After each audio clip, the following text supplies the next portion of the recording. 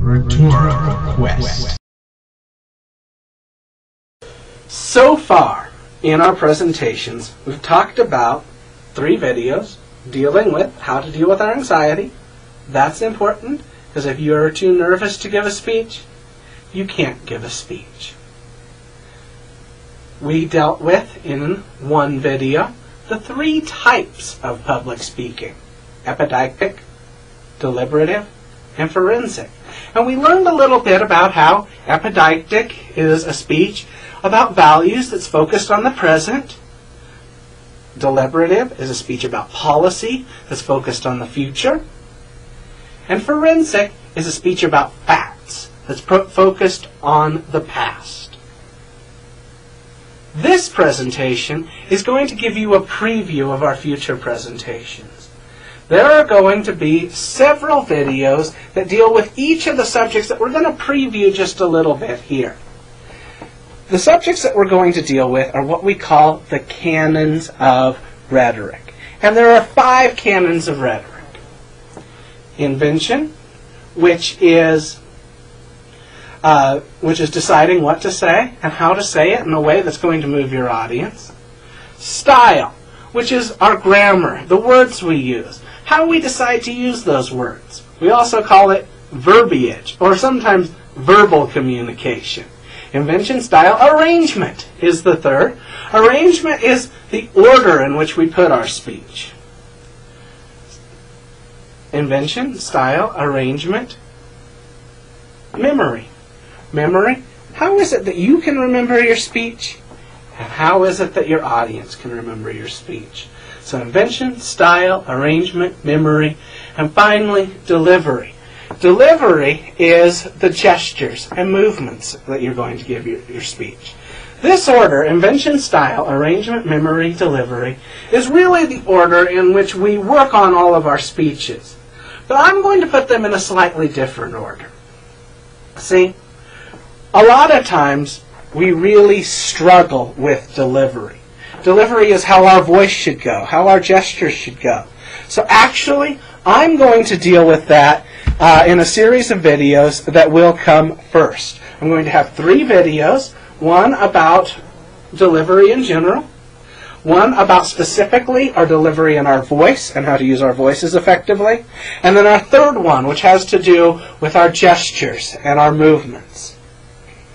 Then I'm going to go into invention. I'll talk about how we can research for our presentations, and I'll talk about how we can use and evaluate our research. I'll talk about making logical appeals and how we can put our speech together in a logical way. I'll talk about what's the proper way of using emotions in our speech. And I'll talk about how we can make our speeches more credible. After that, I'll have three speeches dealing with arrangement. The first speech, dealing with arrangement, will give you a, a, method of putting speeches together in a quick and easy way. The way that we have to get put speeches together a lot of times when we don't have much time to prepare. I'm also going to talk to you about two other ways of putting together a speech. One is called, I call, the ancient order. And it was an order put together a long time ago in ancient Rome. This order is a really useful way to put together really good, high quality speeches. But it does take a little more time than that simple speech. I'm also going to give you a third arrangement for putting together a speech. This is a, a, method of arrangements that's very popular right now, especially in the advertising industry. And it gets people to move and quickly make snap decisions, which is sometimes useful.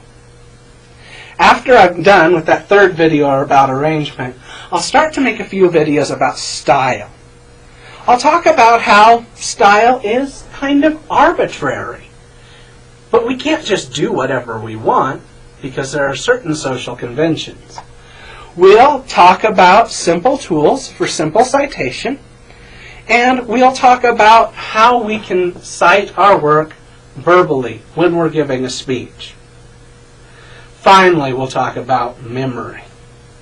Memory will, talk, will help us understand what we can do to help us remember to give a good speech, remember our points and stuff like that.